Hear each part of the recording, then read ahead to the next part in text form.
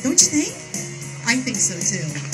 I so think so. So don't tell him that I came up here because it's gonna really upset him. Is it a secret? Secret? Yeah. He's gonna go around the boat.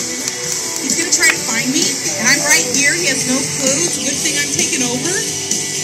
Because he doesn't know what's going on. What you got there, buddy?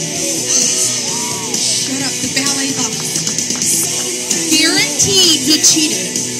He doesn't know you're giving this to me, does he? I'm gonna go count these because I kind of have a suspicion that he cheated.